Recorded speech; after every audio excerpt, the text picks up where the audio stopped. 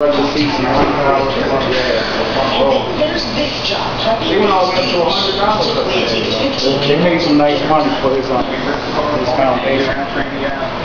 I got, I got it, hey Dirk, I'm gonna, um, I gotta get, um, I'm gonna give you a little certificate piece to help me out, with the money for the hospital. So, uh, right now, so far, it's almost like,